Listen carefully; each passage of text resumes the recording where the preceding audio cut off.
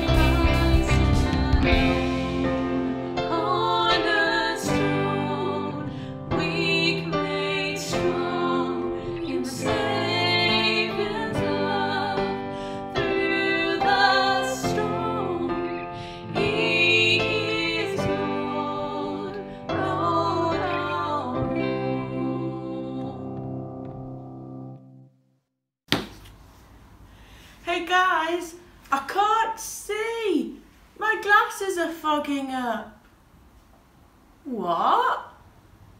Oh, silly me. CRBC Community News. Bomb. That's better. Hello and welcome to CRBC Community News, bringing you news from the heart of the community. Haven't you missed me?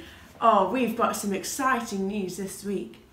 Today, Joy and Norman are celebrating their 23rd wedding anniversary. Hooray! Congratulations! They were married 23 years ago by Ken.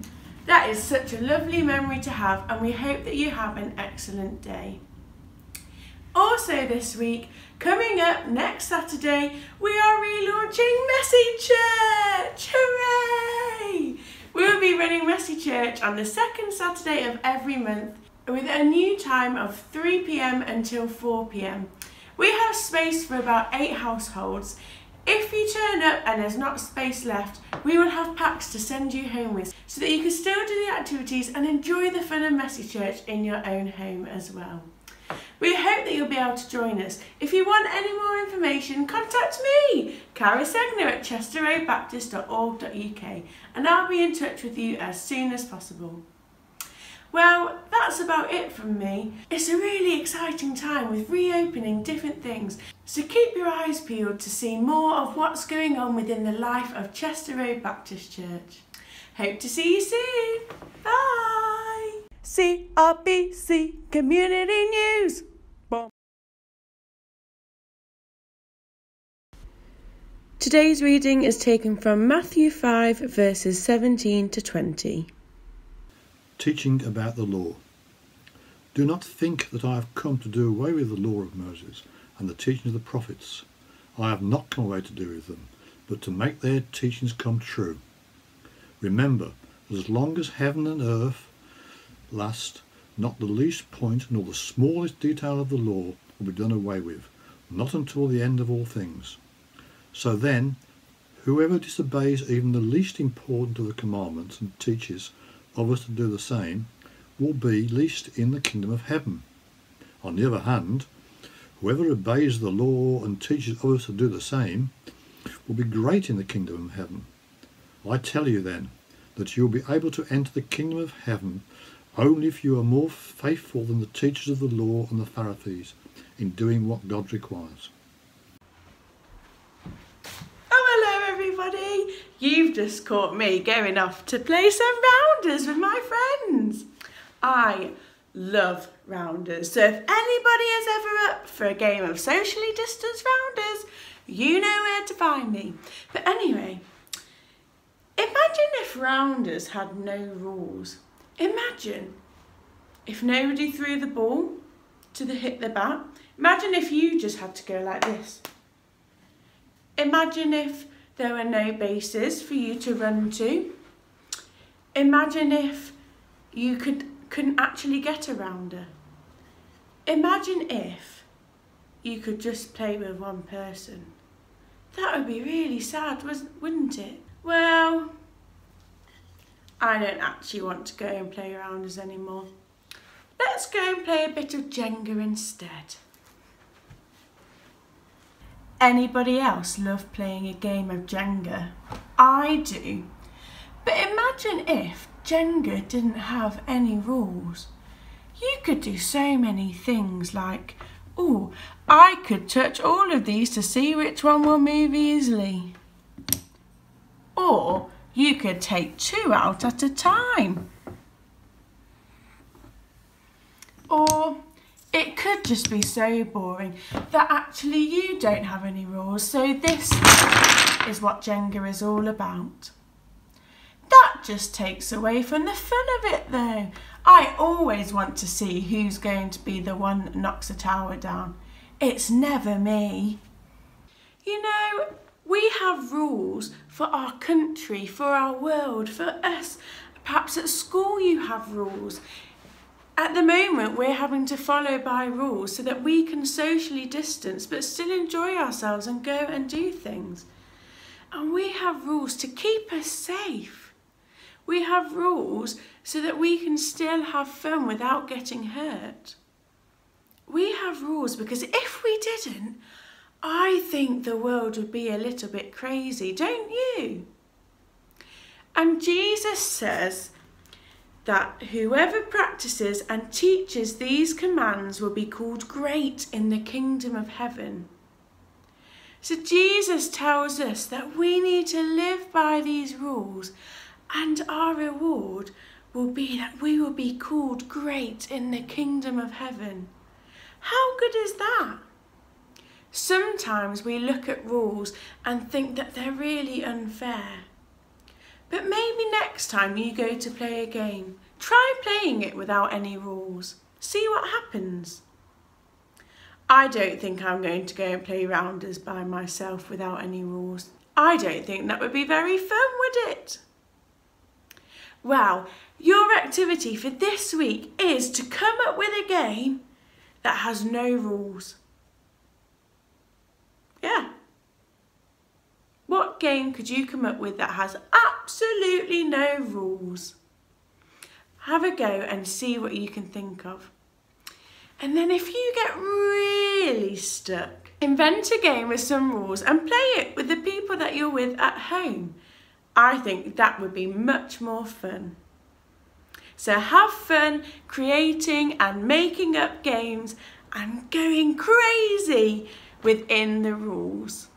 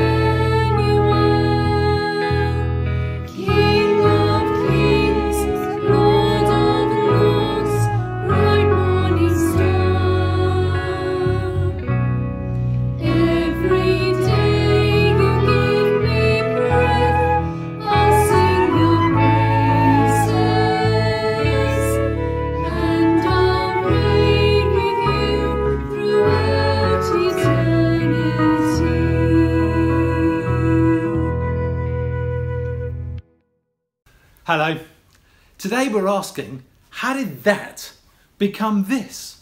How did that pile of junk become this object of beauty?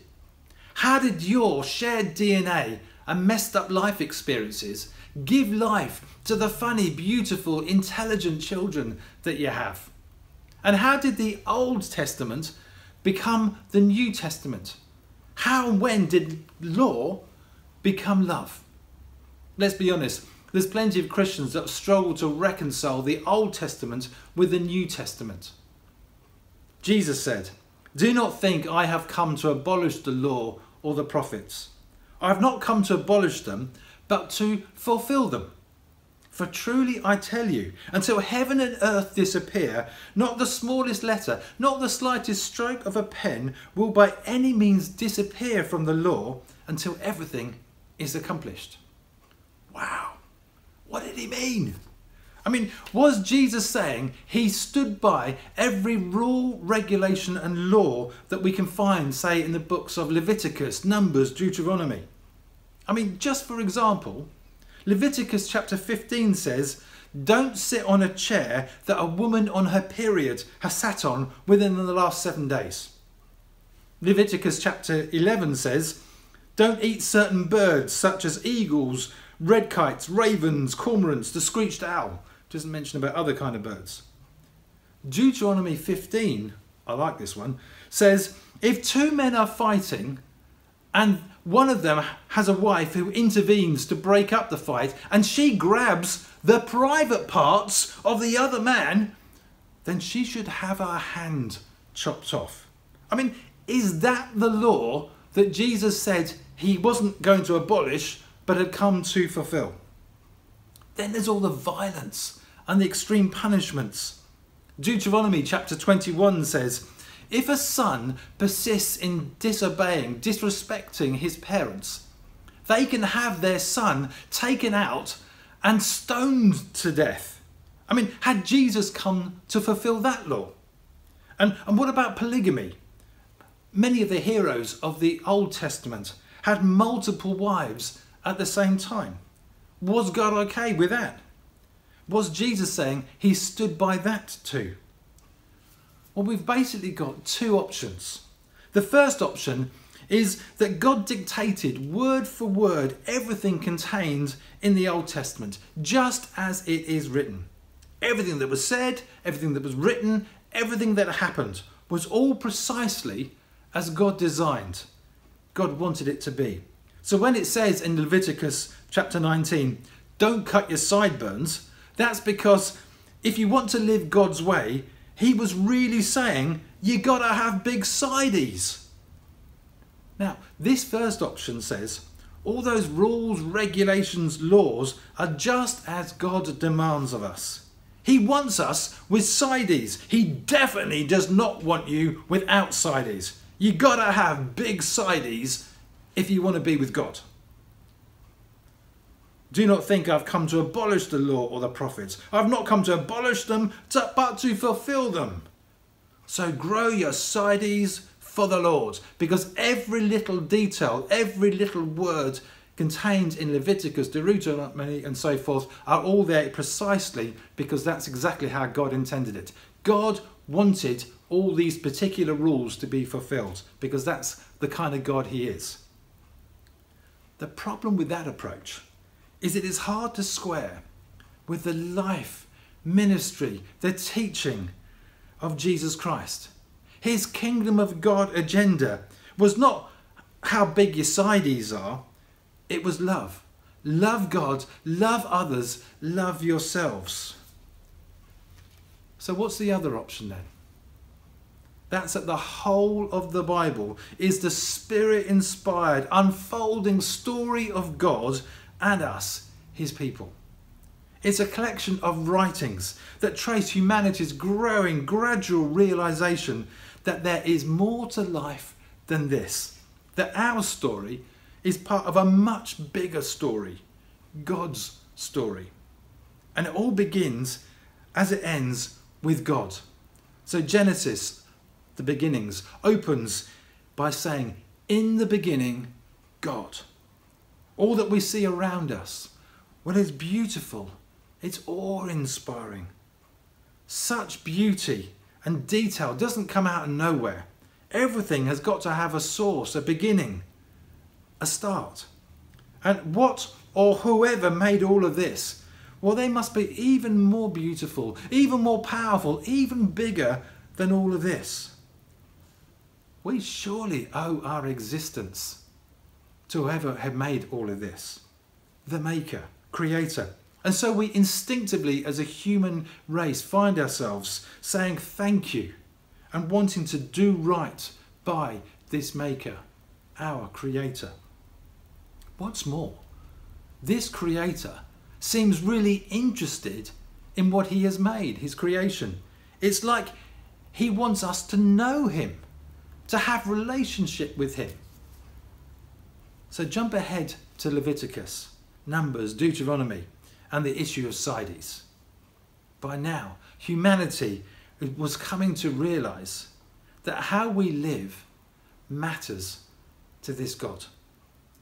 Just as there is natural order, rhythm, structure in creation, so life itself just seems to go better when we people live together with some kind of order, rhythm, structure. It matters how we live, how we treat one another, how we show respect to God.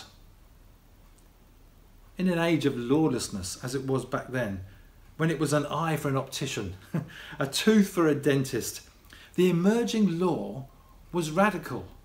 Now there's proportionality. At least restrict it, limit it to an eye for an eye and a tooth for a tooth. Live together in peace. Work for justice, care for the poor, be good stewards of creation. And when things go wrong between you, be reconciled to each other. How you live matters to God, and it also determines how well life goes for you. The law wasn't about sideburns are good and a number one shave round the side is bad. There's a much, much bigger story at play. Another word for law might be the way. It's the way to know God. It's the way to enjoy life as it was always intended, how we were wired to be. Then, fast forward again. Boom. God revealed his way to us. Widescreen, vivid colour in Jesus. Jesus, God the Son, God come in human form as one of us, was born as one of us. He's born in an unclean stable to a teenage unmarried mother, surrounded by unclean witnesses who worship without following the right kind of sacrifices. It was all wrong in so many different ways. And yet, reset the clock, start again. This is year zero. Jesus declared, That way, that's me. I am the way, and I'm the truth, and I'm the life.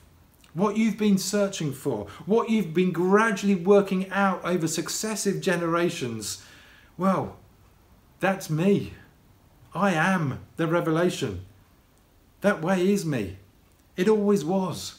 Remember Genesis, in the beginning God, hence why John in his gospel begins, in the beginning was the Word, and the Word was with God, and the Word was God. He was with God in the beginning. Through him all things were made. Whether, without him nothing was made that has been made. In him was life, and that life was the light of all mankind. Jesus hadn't come to replace the Old Testament and its laws.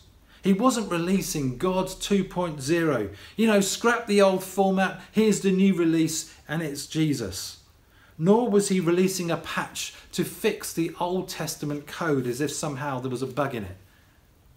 Jesus was fulfilling the law in a way that that was always how it was meant to be the way to God, the way to live well. Now, let's try something different. Think about Leonardo, not Leonardo DiCaprio, and not Leonardo the Teenage Mutant Ninja Turtle. We're talking Leonardo da Vinci, the 15th century Renaissance man. Leonardo was born after an affair between a wealthy Italian lawyer and a peasant girl. In fact, he had no surname. Da Vinci is not his surname.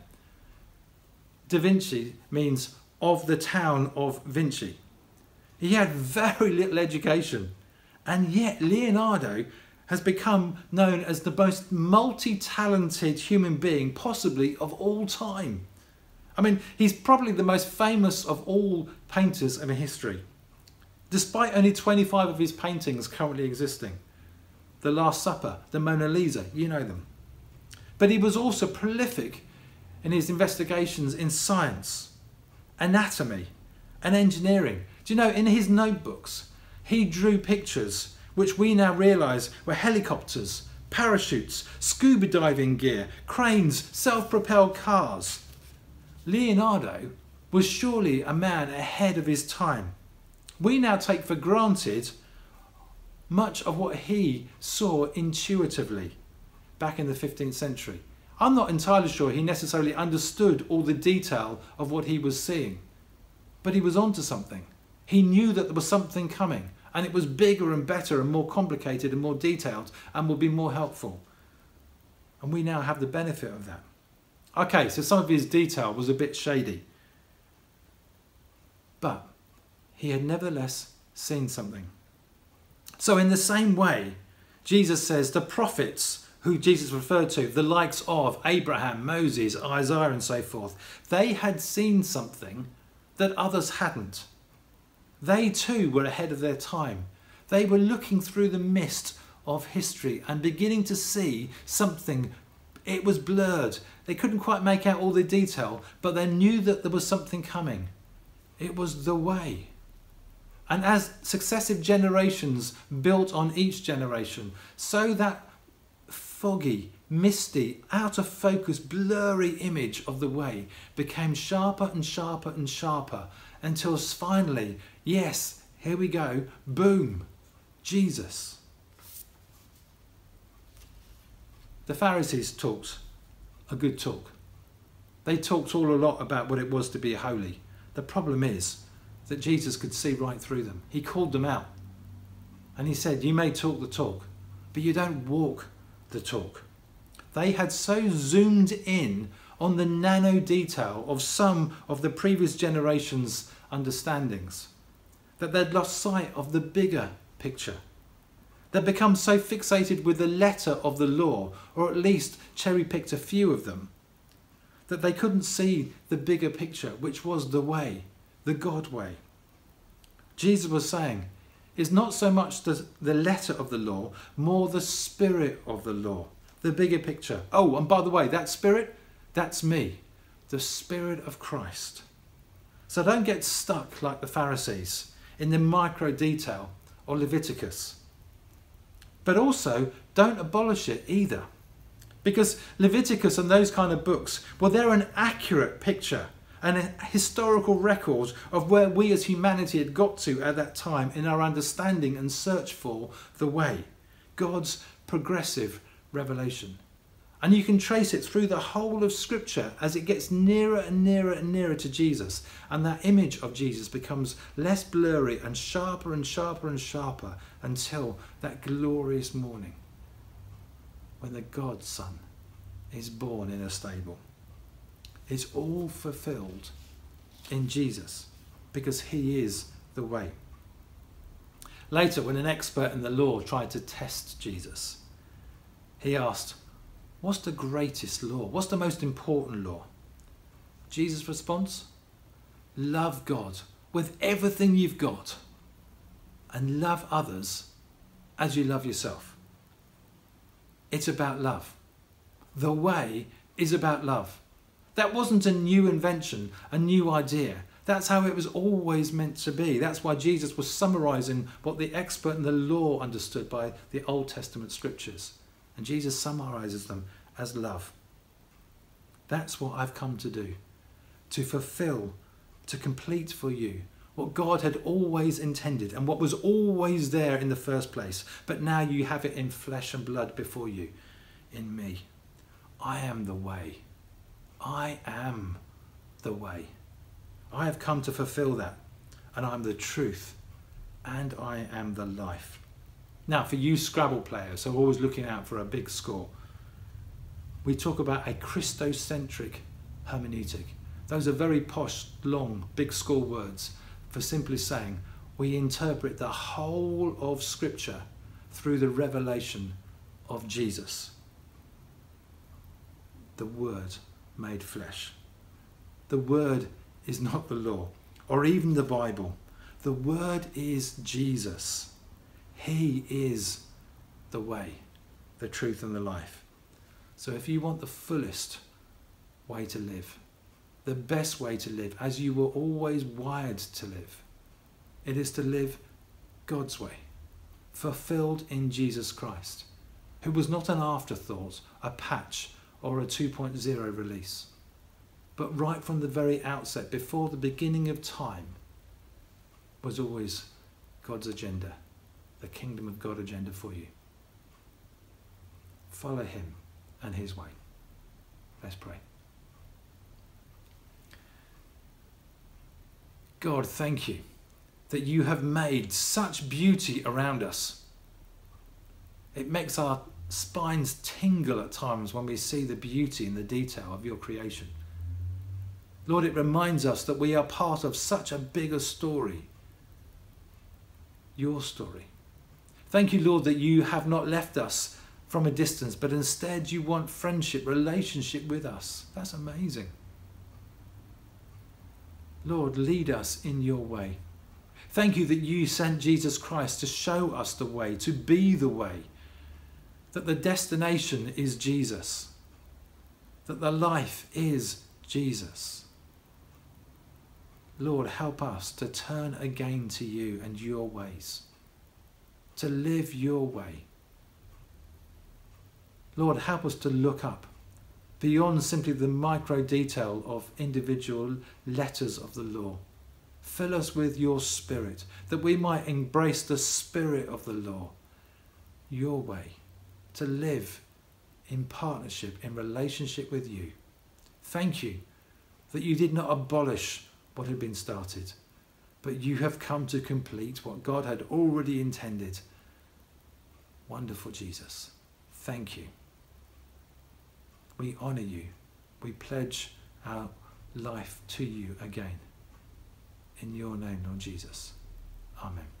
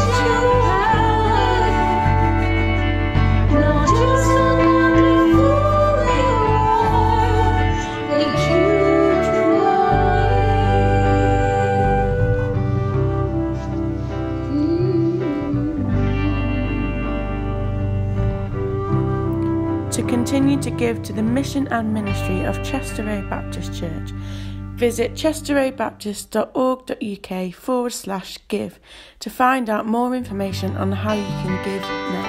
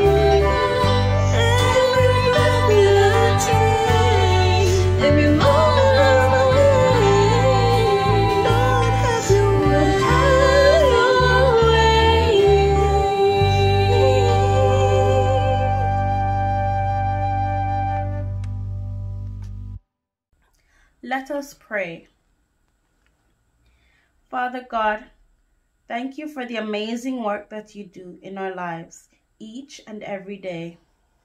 Thank you for the many blessings that you bring to our lives daily. Lord, we know that not all the time are we obedient to your word, but we are grateful that we can return to you time and time again as we seek your forgiveness. Lord, as your word says, we should seek to practice and teach others your ways so that we can be called great in the kingdom of God. Father, please help us as we strive to be an example for others to follow. Let your light shine from us in our various places of abode, work, and school. Lord, thank you for your love and care that you bless us with in our walk with you. Lord, forgive us when we forget to give you the glory for our daily accomplishments. We are thankful for your mercy. Help us to keep our eyes on you as we seek to bring honor to your name. Father Jesus, please put your arms around those children who have gone back to school this past week and for those of us who go back in the weeks to come. Please guide and protect us and those around us, in particular our parents, teachers, friends, and family. Please keep us all away from harm of any nature. Father, renew our spirits and fill us all with peace and joy. Lord, we would like to pray for those amongst us who are in need of your special touch in their lives. We would like to lift up Helen, Joy, Kath, Clifford, Don and Joyce, Jas, Jesse, Joyce, Mike, and Paul. Lord, please provide for them in whatever way they need. Shower them with your abundant love and grace. Finally, Lord, we thank you for our church leaders, Danny, Liz, and Caris, as well as the many volunteers that continue to uplift your name and are good stewards. We are grateful that we are part of the Chester Road Baptist Church family and your world, worldwide family. We pray especially for all the key workers in our family around the world that you will continue to renew their strength. They will run and not grow weary, and that they will walk and not grow faint. In your name we pray. Amen. Let us pray together the Lord's Prayer. Our Father in heaven, blessed be your name. Your kingdom come, your will be done on earth as it is in heaven. Give us today our daily bread, and forgive us our sins, as we forgive those who sin against us. Lead us not into temptation, but deliver us from evil. For the kingdom, the power, and the glory are yours, now and forever. Amen.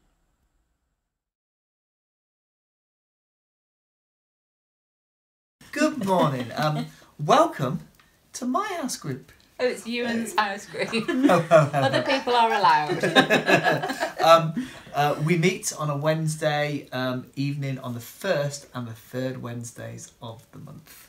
And uh, we meet in a variety of different ways. Some people in person, such Hello. as me and Ruth and Lindsay, and then some people, as you can see, virtually via the power of That's the internet. Rebecca there. You Rebecca missed, is there. And then um, what we meet about is um, currently we um, discuss um, the service notes that Danny happily puts up on the internet. And we have also followed the Lent course that the church has followed. And why do we meet? Um, we meet to um, share God's word, to share follow- fellowship, and to support each other in both prayer and um, helping each other sort of during the week via the wonders of WhatsApp. Okay, thank you.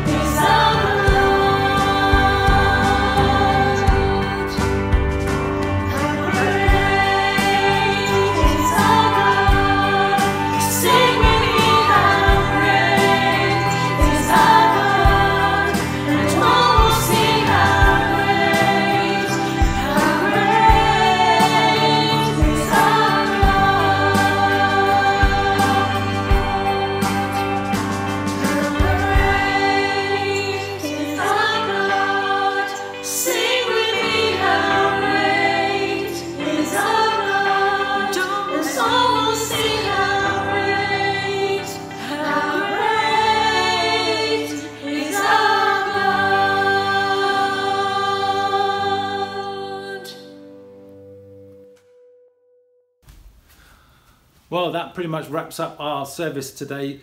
It's been great to have you with us. If you've got questions, you want to pick up anything that I've said, then by all means get onto our website, chesterroadbaptist.org.uk, go to the About Us section, and you'll find details for both me, uh, Caris, and also Liz as well. Uh, drop us a line. We would love to hear from you. Later on today, we're going to be having our on site service, Breathe. It's contemplative, it's Celtic, and from today, it's also communion as well. Uh, that's four o'clock at um, B73 5HU in our um, Chester Road Baptist Church building. You'd be very welcome. Finally, why don't you join us later on for uh, tea coffee in the um, in the coffee lounge on Zoom? It'd be great to connect with you and just to have a bit of a natter. So this week then, go and pursue the way, the truth, and the life that is Jesus Christ.